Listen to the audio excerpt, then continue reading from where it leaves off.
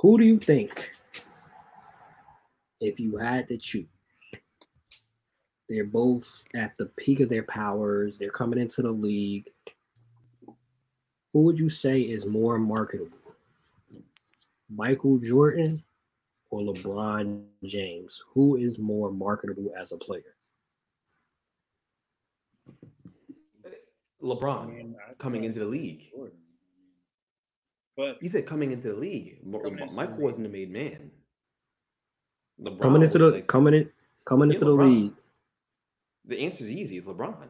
Le, Le, LeBron had all the hype as a high school uh, as a high school student, as a high school athlete.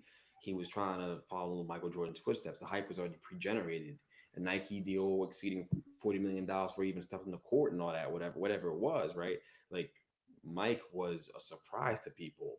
Like coming out of he was a he was a, they thought he'd be a really good player, all star. They didn't think he was going to be what he was. So the the marketing, the the hype wasn't quite the same for Michael coming out of high, high school. It wasn't. In fact, he didn't even go number one.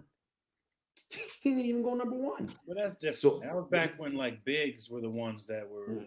most coveted. But we saying marketable though. I'm just saying I don't I don't think that Michael Jordan came out of came out of college with the same level of hype that LeBron did.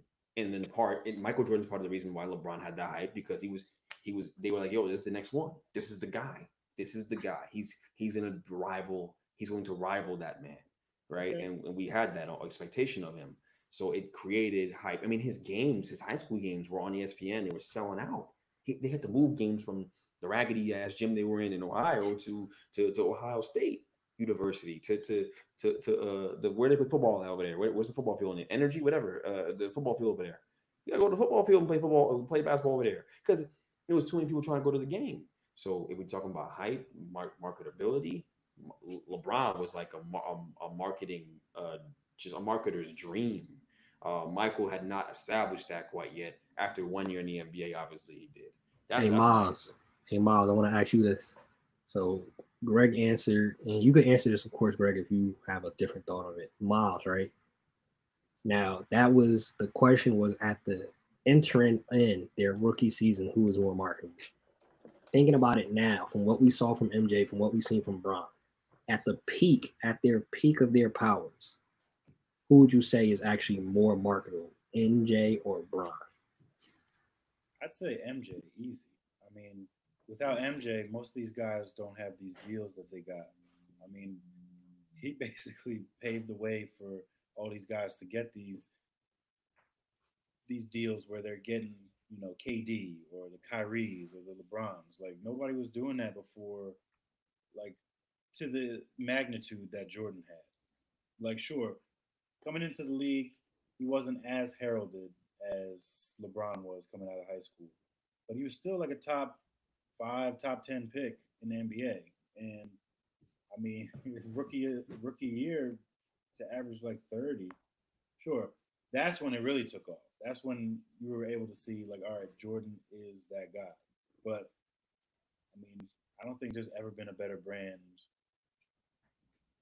than Jordan to be started from the bottom like that. I mean, it's his own brand, and I don't even think it's a part of Nike anymore. I think he's branched out to being like almost bigger than Nike at this point. Like the fact that someone can be bigger than Nike just speaks to the volumes and the cultural impact too that those shoes had kind of helped kind of build that that buzz up for it. Because I ain't wearing uh, Brons to the club. Like Greg has said multiple times, I ain't wearing Brons to the club. Yo, I think I think Michael Jordan had the benefit of coming first, of being first. And I think that because he was first, he got the best designs and he, you know, he had the opportunity to kind of pave the way. He came, he was first.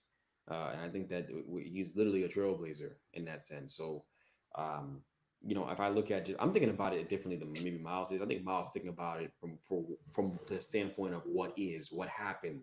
I'm thinking about it from, yo, if these two dudes were in the NBA at the same time. Well, we can't we can't look time, at it like that though. Yeah, I'm, I'm, you said marketability. I ain't saying ain't. I'm not looking about it from what is or what happened. I'm looking like about Jackie, yo, Jackie Robinson was the first peak, black player. Peak for peak. Barry Bonds. Yeah, I mean, I think being first is a is a benefit in the situation. Like he got hmm. he got Nike's great some of Nike's greatest designs because he was first in line. He was first in line, fair, and he also had the the world in pandemonium because they had never seen a basketball player that good before. They had never seen it.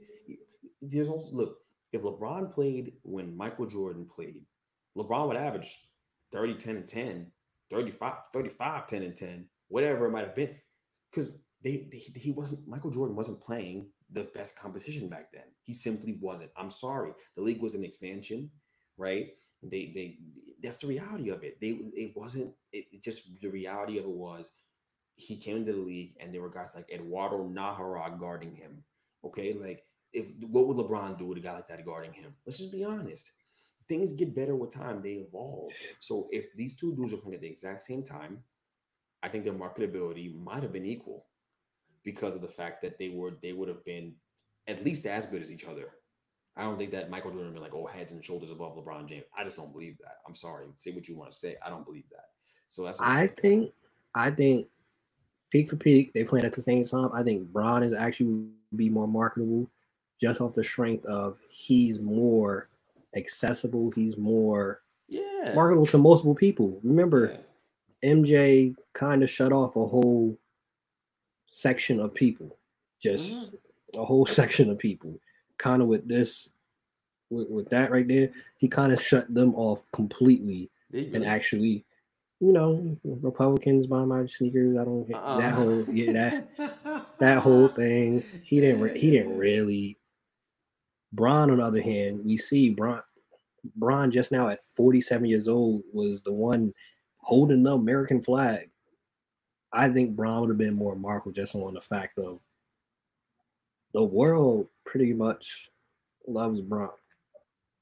Outside of every, every now and then they get pissed off when he say something political, but that's any black athlete. For the most part, the world loves LeBron. I think he would have been more marketable. We're not having a debate of who's better. We've already had that, and y'all viewed it 50 million times on I Instagram, low key, I low key made it about that just now, so people will love that. But Oh yeah, I- of course. 35, I 10, and 10. Eduardo Najera. Oh yeah. well, I mean, like, come on, man. Like, it's just, I don't know, bro.